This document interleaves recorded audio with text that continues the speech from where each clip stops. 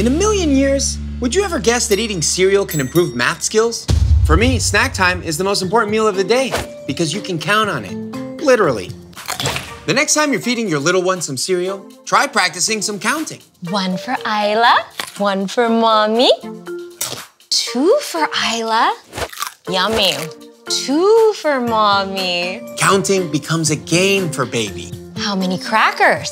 One, two, two. Or organize fruit by size. Now that's a brain teaser. We have an apple. We have a grape. Which one is bigger, Isla? Very good. The apple is bigger than the grape, but they're both tasty.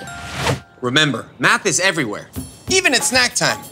Personally, I like counting cookies.